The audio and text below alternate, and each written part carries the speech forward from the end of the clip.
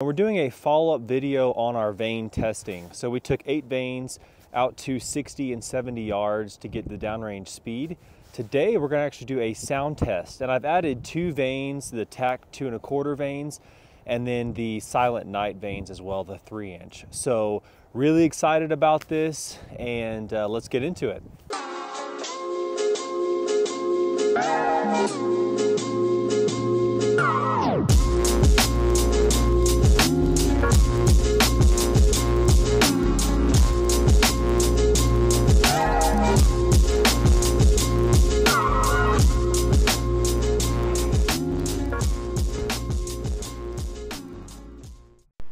Here is the setup. I shot from the same spot each time. I did want to mention that I was shooting and actually hit my Blazer arrow setup, so that was not able to make it in the test, sadly. Here is the decibel meter at 35 yards. The target is at 100 yards. I noticed if the target was closer in, I was getting some readings that were pretty close together on the meter, so I did move the target back. And so this was just my test. Uh, definitely would recommend testing your own as well. But let's get into the results. I sacrificed a bare shaft at 100 yards so we get a base sound and we'll use that to compare against all the other vanes.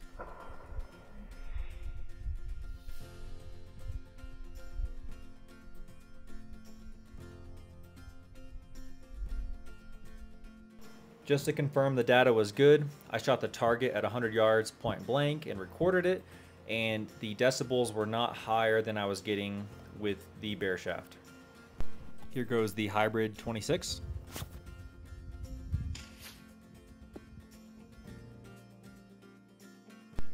Max Hunter vanes.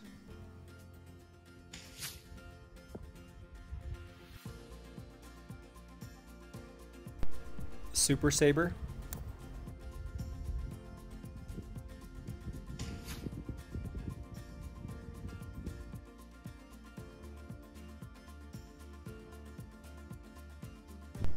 Max Stealth.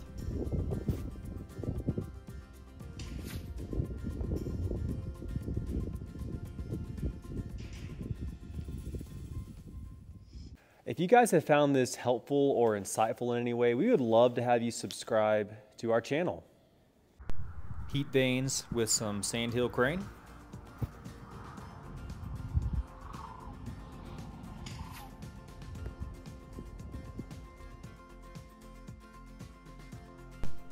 Silent Knight.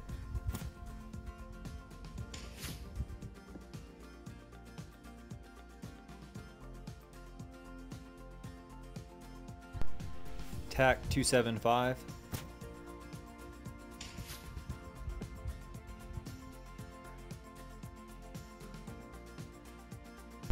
TAC two and a quarter.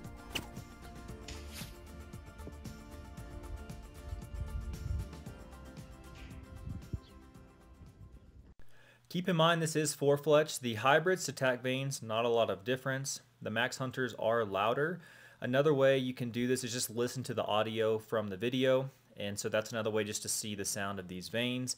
I'm gonna do this with three fletch as well. And keep in mind it's dependent on your own setup. And so these are the numbers. I know this test wasn't perfect. Would love to hear if you guys have ideas or suggestions. Uh, would love to learn from you on this, but this was just a test that I did and set up. And so learned a lot while I did it, but again, wasn't perfect. But thank you all so much for watching, and we'll see you on the next one.